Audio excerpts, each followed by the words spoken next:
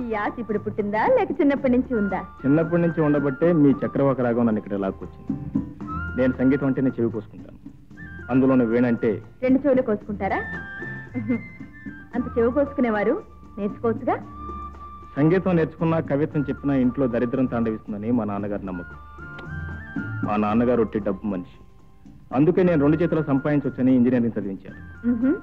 ఏమాత్రం సంపాదించారేమిటి? సుమారు ఐదారు కోట్లు. అదేనండి రెండు టెర్లేనివి నాలుగు ఉలం కాట్.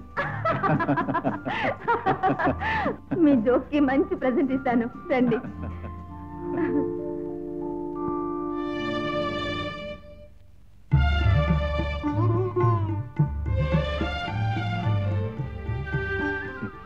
ఏమిటో? మీలో మీరు నవ్వుకుంటున్నారు? ఏం లేదు. చంద్రుడికి కూడా మనుషుల్లా దొంగ బుద్ధిలే వచ్చాయి. ఏ?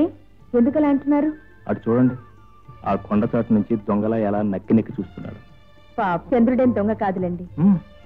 దొంగల్ని పట్టాలంటే అలా పొంచి పొంచి చూడాల్సిందేగా మరి? మన ఇద్దరిలో దొంగ ఎవరంటారు? చంద్రుడున్నది మన ఇద్దరి కోసమే కాదులేండి. మీరు దొరకరండి? ఐ మీన్ మాటల్లో. అంతే కదా. చూడండి. అక్కడేదో అలికిడి అవుతున్నట్టుంది.